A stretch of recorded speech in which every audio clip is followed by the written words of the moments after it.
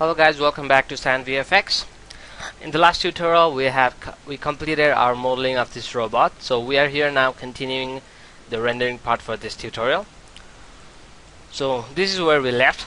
So now we'll start up today by creating up our materials for our robot.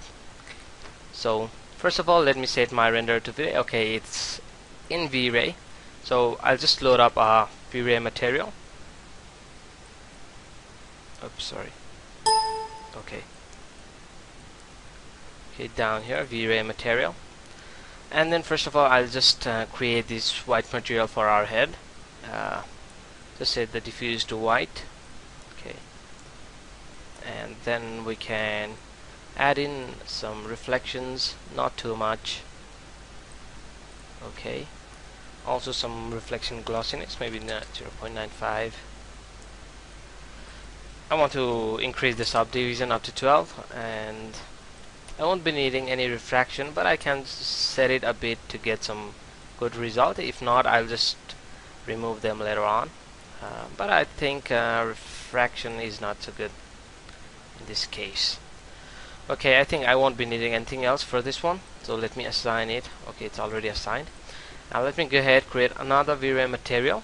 And for this eye part I'll create kind of glue sorry blue color. Okay somewhat like this. Also some reflection right in here as well. Okay and I want some glossiness 0.8 and then the subdivision maybe 20 for this one. And select all these three parts. Press F4 to see it better. Okay the materials are pretty simple. We just have three materials. So for the leg and the weapon, we'll use a similar material.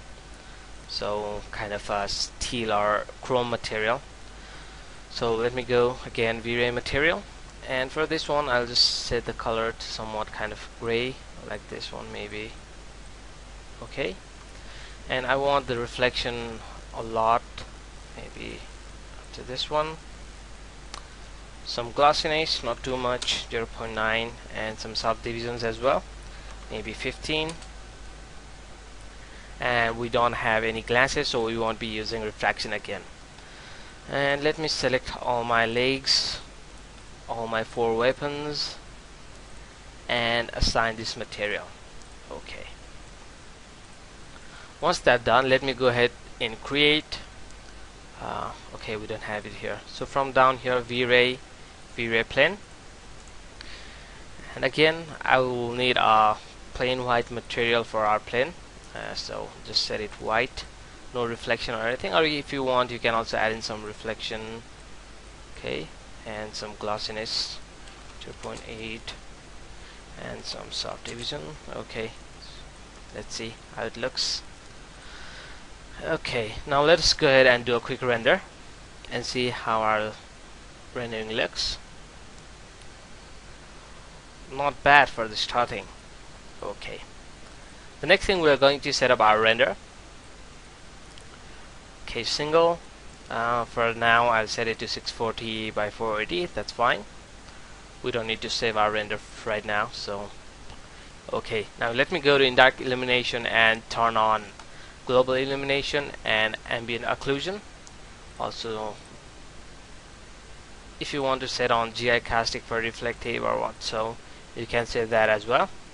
But I won't be needing them anything like that. Okay. For irradiance map. High it's good. If you want more high quality you can go to very high. Uh, you can turn on detail enhancement and subdivision multiplier maybe 0.4 okay. Let me go back to V-Ray. I'll set this anti-aliasing filter to Catmull let me go to V-Ray environment and turn on GI and reflection environment. Um, I don't have any refraction so I don't need that. Then let me open up my material and set up uh, another plain material with white color and just drag it into my GI oops sorry. It's not dragging. Okay so uh, I guess I cannot add that material so I'll just set a white color right here so that's not matter. Then let me just change this to uh, V-Ray HDRI map. Down here V-Ray HDRI and I load up a HDRI map. I have this Chrome HDRI map. I'll be providing the link in the tutorial in the description that below to download this one and then I can just drag it into my reflection refraction environment override. Okay. Then I'll go to rendering environment and set this color to white as well. With that done let's go ahead and check in our render. So here's our render. Uh, it's looking pretty good but uh, the reflection right here is looking too sharp so I think we need to increase the glossiness for that one and everything else is looking pretty fine. Okay. So uh, let me go ahead and increase up the glossiness for this one. Maybe 0.8 or maybe 0.85 okay. And subdivision up to maybe 18 okay. So um, if we see our render it's kind of like everything's look similar so it's looking pretty flat not so good. So let me create some variations. Uh, let me ungroup this one all these legs uh, ungroup group ungroup and again group ungroup. So let me select all these four pieces and apply a different material to the to them. Just apply this simple gray and we'll just edit this one now. V-Ray material we'll make it a little more grayish darker grayish maybe.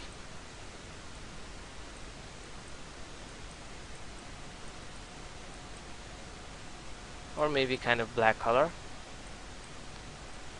And add in some reflections as well. Okay some glossiness 0.95 subdivision to maybe 12 okay now let us check our another render but before let me go to render setup and let me add in a little bit of a blue tint so our render will look pretty good. Then go to environment and also set the color similar to this one. Okay. Let me just render. Okay the tint is too much so let's get back to white again okay and also for our rendering environment white here. Okay.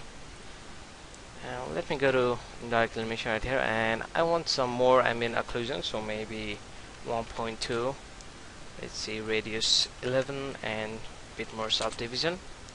Okay. And do another render. Okay here is our final render. So I'm pretty happy with the result. Um, so it's looking pretty good so now we can do what we can do is select all these robots just group them uh, robot and then now we can just duplicate them to create kind of like this three image like this one. Triple. Move this one a bad bit. Move this one and back as well. Now we can select a better render view or maybe pull this one a bit more back and this one as well. Like this. Okay now set a better view and you can just render. One more thing you can do is if you don't like these colors are a bit too bright and then you can also uh, change um, some of those from here I guess somewhere around. Color mapping? No. Okay you can just reduce this multiplier maybe 0.5 like that and also um, primary bounces secondary bounces right there. Okay. Or you can do is just take this render and take it into Photoshop and play around with some um, brightness and contrast or curves and you can really get some cool result.